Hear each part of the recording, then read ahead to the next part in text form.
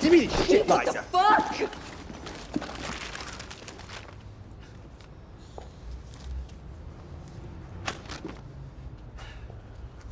You appalling piece of shit. When they get to you? I went to them.